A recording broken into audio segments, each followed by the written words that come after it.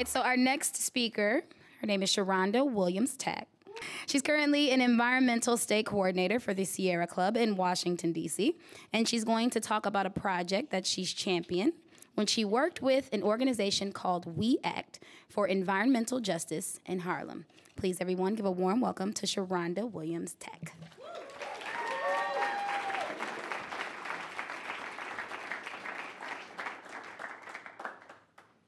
Hello, my name is Sharonda Williams Tack. I would like to first start by giving a shout out to Mahiar. Mahiar is the one that recommended that I speak at this year's Zero Waste Summit, so I really appreciate that. I am honored today to be amongst leaders in this field and especially to be in a room filled with so many people that work hard every day to create better communities, which in turn creates a better world for all of us.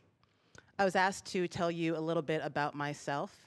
Um, I've considered myself to be an environmentalist since the age of 14.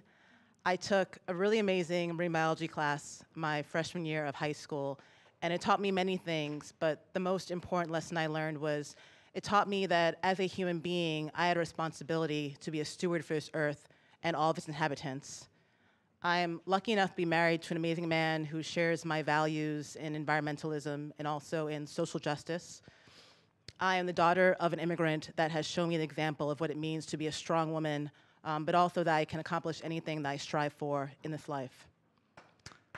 Thank you. I thank my mom. Professionally, I am the Environmental Justice State Coordinator at the Sierra Club. Um, my work is focused on climate justice issues, and I work on climate justice on the national level. I have focus areas in Illinois, Michigan, and the great state of Minnesota. So give up to Minnesota. um, I've been working in the pursuit of environmental justice for the, the past six years. And so when I think of zero waste as an environmental justice issue, I think of people using their limited income on reusable, non-toxic products that help them save money while also reducing health risks.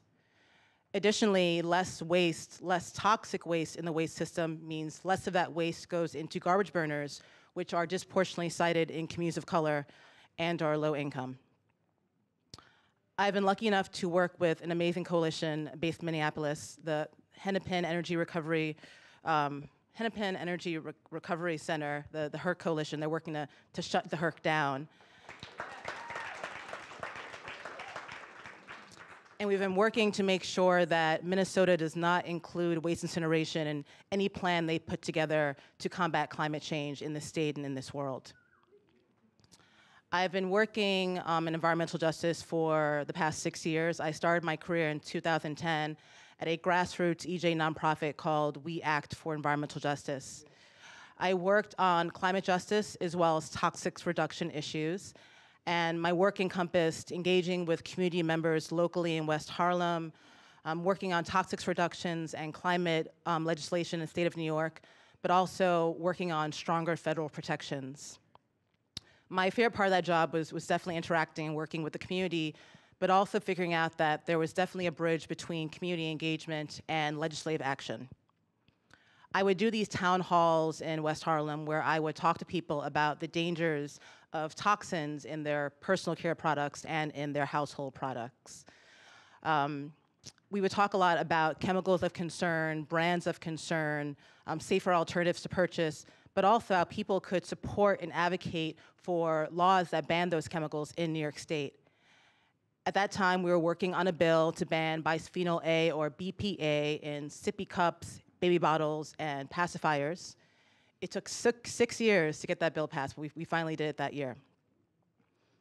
And what I learned from doing these town halls was that when people are informed, they are then empowered to make positive changes in their personal lives they can then use that education to create legislative changes, which create changes in larger communities. When it comes to being an informed consumer, there are many resources that people can look into when it comes to figuring out how to reduce toxins in your household and in, inevitably in the waste stream. I'm going to speak specifically about cosmetics and personal care products because if I went into all the products available that had toxins in them, I'd go way, way past my 10 minutes and, and be cut off. So there are two great resources that, that I love and that I look to. Um, one is the Campaign for Safe Cosmetics, and the next is the Environmental Working Group's Skin Deep Cosmetics database. The Campaign for Safe Cosmetics has a fantastic website which includes relevant regulations, chemicals of concern, but also information about a program called the Compact for Safe Cosmetics. The Compact for Safe Cosmetics is an agreement that was entered into with hundreds of companies where they agree to not put chemicals in their products that are banned in other countries, to disclose ingredients information whenever possible, and also to not include ingredients in their products that are known to cause cancer and or birth defects. The Environmental Working Group's Skin Deep database allows you to search for over 64,000 different products, which is fantastic. And when you put a product in, you can see whether that product has a low hazard, moderate hazard, or high hazard based on the ingredients in that product. And they also speak to you about safer alternatives that you can purchase as well. So, like I said, it's important that we are empowered to make changes in our personal lives, but if we want to you know, expand that into changes for everyone, we have to look at what laws we have available. Minnesota is awesome. I, I did a lot of research about Minnesota laws and toxins, and Minnesota is definitely a leader when it comes to regulating the safety of cosmetics and personal care products. In 2013, Minnesota banned the use of formaldehyde in children's products, which includes baby lotions, bubble baths, bath soaps. And I'm sure many in the room know that you know Johnson Johnson was one of those companies that families used for generations, and they had formaldehyde in their baby shampoo. They have since removed it, and now it's just called a new formula. They're not acknowledging that they're now taking those toxic chemicals um, out of products that are being used by children. Minnesota is the first state to ban intentionally added mercury in cosmetics, making it stronger than the federal standard, so that's, that's huge.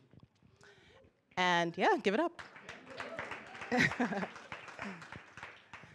and also triclosan, which is, I hope I'm pronouncing that right, triclosan is a registered pesticide which is found in antibacterial hand soaps, dishwashing liquid, toothpaste, and cosmetics, um, is going to be banned effective in Minnesota in the year 2017. Um, yeah, this is all great news. um, yes, that, that's, that's, there are a lot of good things going on in Minnesota. You guys are definitely taking the charge when it comes to you know, regulating the safety of your citizens, but with, with anything, you can, you can do more. How can we raise the bar in the state of Minnesota and make sure they're protecting their citizens even more? Well, like anything else environmentally based, you can look to California as, as a model. Yeah, right? so in, I believe, 2005, California passed state legislation that um, looks at regulating the safety of products, but also the way that information is being disclosed. The California Safe Cosmetics, Cosmetics Act requires manufacturers to disclose ingredients to the state if they are found to be on a state ban or federal ban list, which is great. So this information then goes into a database, and this database is then accessible to the public. So though the state isn't banning these chemicals in the products, people are able to see this information and make more informed decisions as, as consumers, which is a huge thing. So in a nutshell, we can see that our federal government is not doing a great job. Um, states are really taking it upon themselves to protect their own citizens. And so I wonder what you guys think. Do you think that this is a problem in other countries, or is this a, you know, a U.S. issue? Hands up if you think that other countries are doing a better job. So I'm going to talk about Canada, and I'm going to talk about Europe because they're doing a much better job. Um, they're kicking our butts. So Canada is doing a much better job when it comes to regulating chemicals in cosmetics and personal care products. Health Canada, which is the federal agency that is um, required to look after the health of Canadians and improve the health of Canadians, is constantly researching and looking at, at chemicals and seeing what has health risks. Um, once they ascertain that there's a health risk in a chemical or a contaminant, they either restrict or ban that chemical in their country. Um, Health Canada also has a cosmetics, um, not cosmetics, a, a chemical hot list that has hundreds of chemicals which are, are banned in Canada, and two of those chemicals are formaldehyde and triclosan, which are not banned in the United States. Um, Health Canada also requires manufacturers to disclose ingredients information and also to register any of their, any of their products, so that's a huge thing. The European Union is also doing a fantastic job, much better than the United States the European Union um, created a law back in 2003, which was revised in 2013, called the European Union Cosmetics Directives Act. within that act, they banned 1,328 chemicals that are known or perceived to cause um, cancer, reproductive development issues, um, birth defects, et cetera. Um, compare that to the US FDA that has banned 11, I repeat, only 11 chemicals in the United States. So we have you know, very, very far to go. And so I talked earlier about you know, my favorite part of my job at WE ACT was looking at that, that bridge between um, you know, how do we get people to change their personal behaviors, but also how do we then take that education and turn it into legal change? And so, you know, Minnesota is doing a great job, but Minnesota can be doing even better, and we have to do a better job when it comes to our, our federal protections. And that really takes people power, but also takes political power. And just to wrap up and to answer the last question that was answered of us, you know, what's something that we want to learn more about and what's something that's a challenge to us. And for me, I think the people power piece is really hard. And I look to, you know, the organizers that I know in this room, like Mahia and and I'm sure there are many others who, who really do that work to really get people corralled around an issue. People have jobs and kids and other things that take priority. And so for me, it feels really hard to add on something else for them to kind of put their energy into. But this is an issue that you know, really affects our daily life in the short term and the long term. And so we really have to, you know, come together and speak to our friends and families when we go home today about what we learned in this presentation, all the presentations, and all the you know dialogue that you're having, and let people know that they have to feel empowered to lift their voices up and to make change in their lives, make change in their states, make change in their countries, and if we all work together, we can be a part of the change that we want to see in this world. Thank you.